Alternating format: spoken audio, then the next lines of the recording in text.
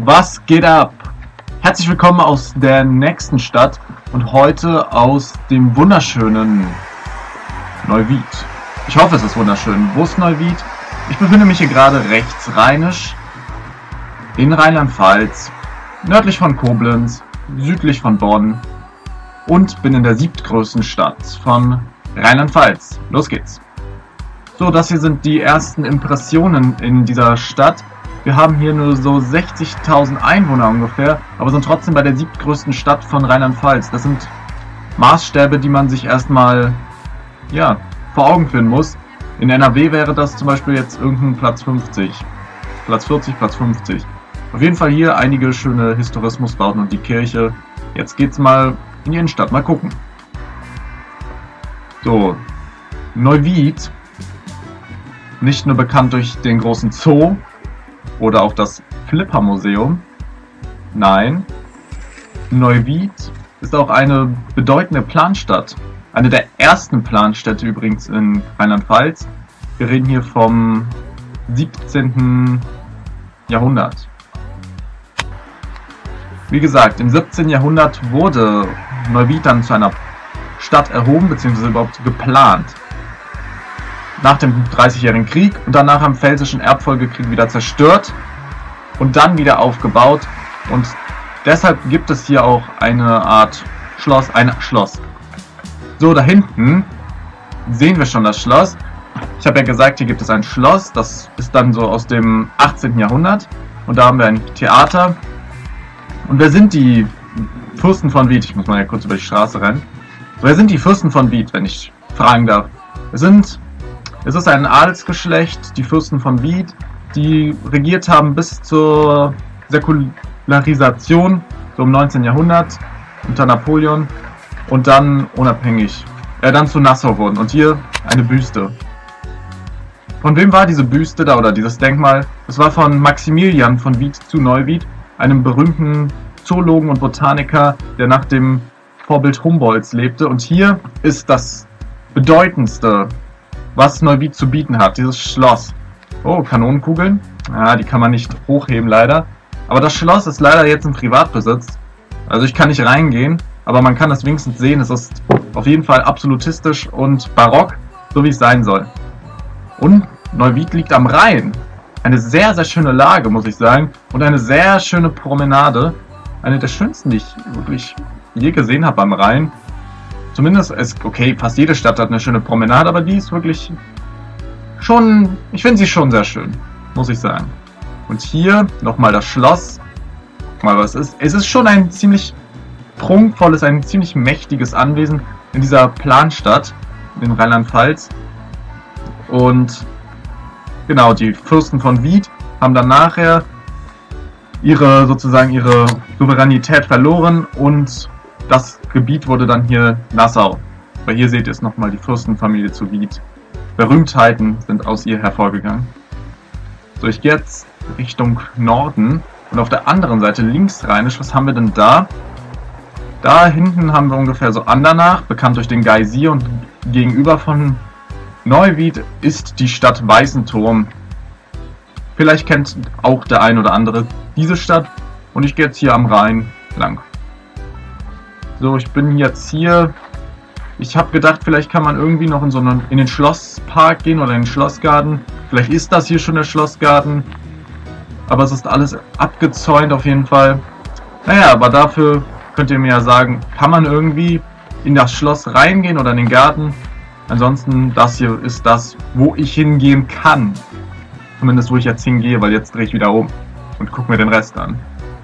Aber der Rhein ist sehr, sehr schön hier. Ja, der Rhein und zur geografischen Lage vielleicht noch zu sagen, Neuwied liegt am Rande des Westerwalds. In Neuwied mündet der Fluss Wied in den Rhein. Und Neuwied ist auch eine bedeutende Industriestadt nachher gewesen.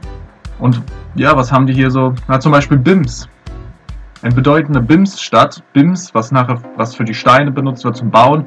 Und das ist ein Vulkangestein. Das zeigt natürlich, wo ich mich hier befinde, in einem Vulkangebiet. Ja, die Eifel und so ist nicht sehr weit weg. Das hier ist vulkanisches Gebiet, die Ecke. Und da haben wir die Reifeisenbrücke. Eine, eine der schönsten Brücken auch. Die Brücke ist auch wirklich toll. Und die Promenade ist geil. Und sie ist auch leer.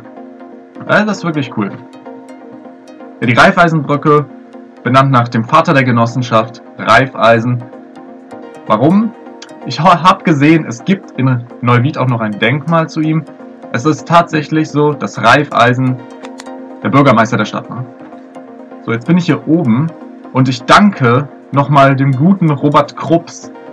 Weil dieser Bürgermeister Robert Krupps aus dem 20. Jahrhundert war einer der Initiatoren, die diese schöne Promenade hier gebaut haben oder geplant haben. Und ja, da bedanke ich mich schon mal bei dir, Robert Krupps. Auf jeden Fall eine tolle Promenade in dieser Stadt. Und was ist noch in Neuwied? Neuwied ist eine Exulantenstadt. Was heißt Exulantenstadt? Das heißt, es ist eine Stadt, die damals frei war für alle Religionen. Also herrschte sozusagen Religionsfreiheit in dieser City. Und jeder konnte hier sich frei bewegen, egal welche Konfession man angehört und wurde nicht verfolgt. Das ist auch sehr modern, ein sehr modernes Denken gewesen. Und was ihr da hinten seht, das ist ein Pegelturm, der halt den Rheinpegel angibt. Und auch hier muss ich sagen, ich habe ein paar Pegeltürme schon gesehen, aber das ist wirklich einer der beeindruckendsten, monumentalsten und schönsten Pegeltürme, die ich hier am Rhein gesehen habe, wenn nicht sogar überhaupt an einem Fluss.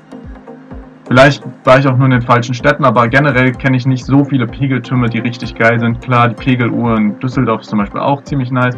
Aber das hier hat irgendwie noch so ein, ich will jetzt nichts Falsches sagen, aber hat irgendwie so einen römischen Vibe.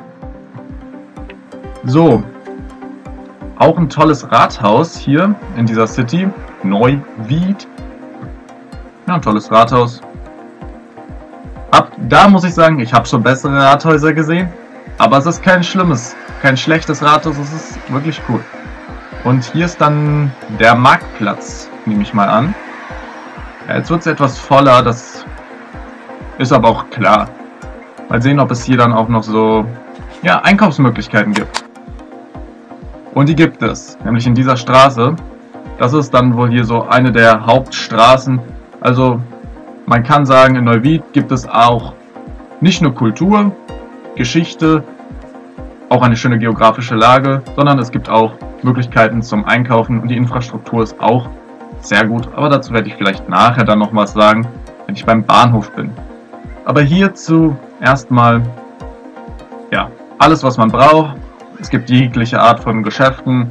Die Stadt ist gut besucht. Die größte Stadt, ne? Ja, das hier ist so dann die Innenstadt. Was soll ich hierzu sagen? Hier kann man shoppen gehen. Auch hier sind noch coole Gebäude. Man sieht auf jeden Fall, dass es so schon moderner. Es war wahrscheinlich doch arg zerstört gewesen, diese City. Gehe ich mal von aus. Auf jeden Fall, ja, Exulantenstadt. Dann hier nochmal, das ist auch nochmal so ein zentraler Platz in Neuwied. Könnte ich auch als Marktplatz zählen. Und eine Telefonzelle. London? Ich glaube nicht real. Aber ein kleiner Mini-ZOB auch. Und jetzt kommt das, was ich im Internet gelesen habe, was hier sein wird, wo ich unbedingt hingehen wollte, nämlich dieses Denkmal für den Vater der Genossenschaft Reifeisen. Ihr kennt ihn vielleicht von den Reifeisenversicherungen. Guck mal, der Bruder trägt auch eine Maske. Das heißt, auch er hat sich geschützt vor Covid-19. Vater Reifeisen. Hier, der Nestor. Tolle Reliefs. Eine tolle Statue einfach. Hier so gar nicht so wirklich zentral mehr in Neuwied gelegen. Da steht die Genie da. Er war Bürgermeister dieser Stadt. Ja, und da das Röntgenmuseum nicht nach unserem Röntgen benannt von Lennep Remscheid, der Erfinder der Röntgenstrahlen, sondern nach den Röntgenbrüdern, die berühmte Ebenisten waren, also Möbelbauer, Kunstmöbelbauer und hier sind Möbel dementsprechend ausgestellt in diesem Röntgenmuseum. Also nicht verwechseln die Röntgenfamilie diese mit den von, Ka von Konrad Röntgen aus Remscheid. So viel dazu. Und da hinten auf diesem Platz steht nochmal der Vater Reifeisen, der tatsächlich hier einfach Bürgermeister war in dieser Stadt. Aber er kommt auch aus dem Westerwald. So, und hier ist der Bahnhof. Der ist auch eine Augenweide. Und zur Infrastruktur wollte ich noch was sagen. Das ist die linksrheinische Strecke, das heißt, hier fährt der RE8 nach Mönchengladbach oder der RB27 nach Mönchengladbach, die auch direkt nach Köln fahren, also eine gute Verbindung, und nach Koblenz. Also die Verbindung ist gut. Es gibt noch irgendeine andere Linie, die ich jetzt gerade nicht im Kopf habe. Rechtsrheinisch ist natürlich vielleicht der Anschluss etwas besser noch, aber hier ist er schon gut. Und der Bahnhof ist einfach nur sick. Neuwied ist eine coole Stadt. Das ist mein Fazit. Und merkt euch nur eins noch zu Neuwied. Was, was merkt ihr euch? Neuwied tolerant und lebendig.